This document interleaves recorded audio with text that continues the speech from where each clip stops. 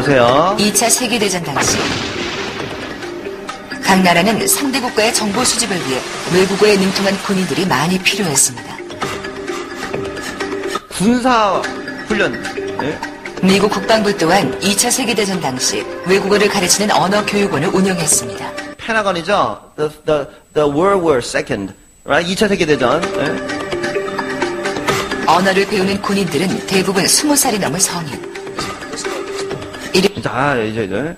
요, 요거를 이제 나중에 바코치랑 훈련하다 보면 많이 보게 될 거예요.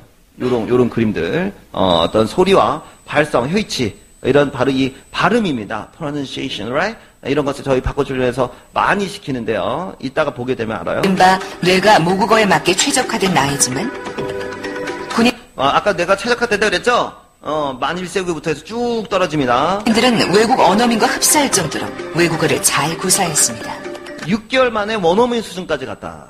The Army Language School becomes really well known for a technique called the audio, audio lingua technique, which was uh, a heavy focus on heavy focus on conversation and listening. So speaking and listening, speaking and listening, uh, which would, and, and also kind of a lot of rote memorization. rote memorization. 여기서 단순 암기인데 여기서 단순 암기는 그냥 외운 거랑 다릅니다. 반복적으로 암기했기 때문에 이것이 뭐야? 체화가 돼서 습득이 된 거죠. Drills, there was a lot of drills and Drill. dialogues that the students would memorize back then, and they would practice and practice and practice and, and they would practice and practice and practice and, 뭐였어요?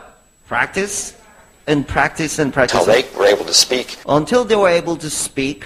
the words precisely. 이게 중요해요. 그 단어를 정확히 발음할 수 있을 때까지 그 발음 자체를 어? 군인들이 외국어를 훈련하는 방식은 극단적으로 연습 또 연습하는 것이었습니다. 하루 20시간 이상 2대1로 두 명의 선생님이 던지는 질문에 대답해야 했죠. 계속적인 질문 공세에 군인들은 생각할 틈 없이 빠르게 대답해야 했습니다. 이렇게 6개월이 지나면 외국어로 의사소통하는 것에 막힘이 없게 됩니다. 자, 말하자면 너무 긴데 결국 어른들도 무, 뭐 어떤 개념을 통해서 훈련이라는 개념을 통해서 모국어 수준까지 올라가는 그걸 단지 내 다른 부분을 쓸 뿐이라는 거죠. 이해돼요? 내 다른 부분인데 여기서 아까 그렇지만 운해예요 역시. 운해에 그 세포 다른 세포를 써서 쓰기 때문에 전혀 지장이 없다. 어, 똑같이 원어민 수준까지 올라갔다는 거죠. 단기간 내에. 그것을 바코치가 여기서 증명하고 있습니다, 지금. 그럼 그 비결이 뭐냐? 바로 practice. 다른 말로 training, 훈련입니다. 마치 군인이 훈련을 받듯이 무조건 막 세게 시킨다고 되는 게 아니에요.